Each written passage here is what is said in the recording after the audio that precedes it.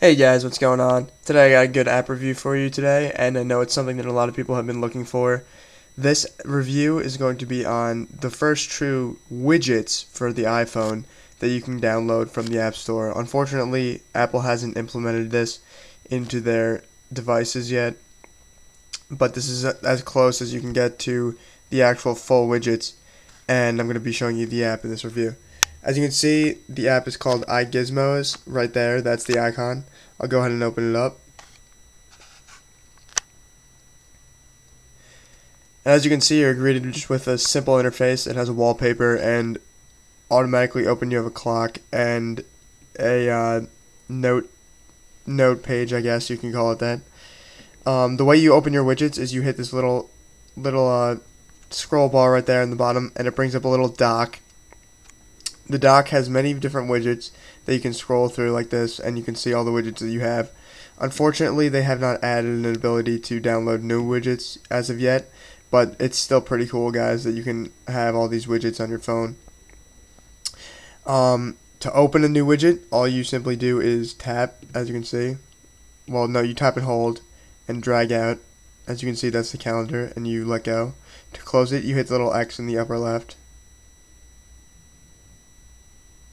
and it just shrinks it. As you can see, dragging web search, just hit the little X and it shrinks it. There are a lot of different widgets as you can see. You have a clock, notes, calendar, web search. Um, zoom in here. Web search, you can do a contact, just show you what that looks like. It shows a little contact thing. X out of it. Uh, wow. Sorry, this is hard through a camera, guys. So a little contact. Another calendar with just a simple date. A stopwatch. A little, what is this? Little picture frame. Uh, another little clock. This one is animated. Um, they also have tic-tac-toe, checkers, and a light. So this can actually act as a flashlight also, guys. You just tap the light. Well, I'll move it up here. And to X out of this interface again, all you do is tap once and it goes away. And to edit the widgets, you just go like that. The other options that you get in this little menu bar is, as you can see up here in the upper right, you have an X, which will close out of the interface. I'll open it up again now. Um, you can also align them side by side.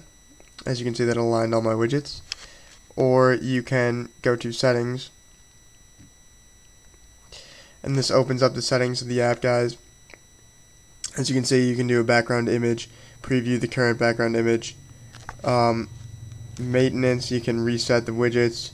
You can contact the company that makes this app. You can visit their website. Or you can even view tips and tricks as you can see. And this basically explains everything that I already said.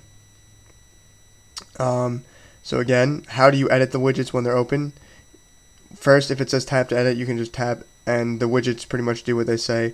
The light bulb actually lights up. Obviously, I just showed you before the tap to edit, you can type something on the note. The clock. For widgets that do not do anything, you have to double tap them, as you can see. And it said it showed seconds, time zones. You can customize the clock style just by tapping. So, it's pretty cool, guys. Um, overall, this was really the first implementation of widgets into the iPhone OS. Hopefully you enjoyed this. Um, if you did, or if it helped you out in any way, please subscribe. Just click the little button above the video up there, guys. I would greatly appreciate it. Also, you are automatically entered into all of my giveaways by just subscribing. I am having a iPod Touch giveaway, like this iPod Touch, soon later this summer, and you are automatically entered for subscribing. Check out my video for other information on my channel. And again, thanks for watching, guys. Hopefully you enjoyed this, and I'll catch you in the next vid. Peace out.